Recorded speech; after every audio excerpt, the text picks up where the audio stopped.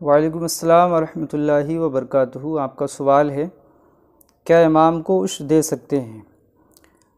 تو جو شرائط زکوٰۃ کے ہیں، وہی عشر کے ہیں اور زکوٰۃ کے جو مستحقین ہیں، وہی عشر کے ہوں گے۔ تو اگر آپ کی مسجد کے امام کے حالات ناگفتہ بھی ہیں اور ان کی ضروریات پوری نہیں ہو پاتی ہیں، تو آپ اپنے غلے کا عشر نکال کر اپنی مسجد کے امام کو دے سکتے ہیں۔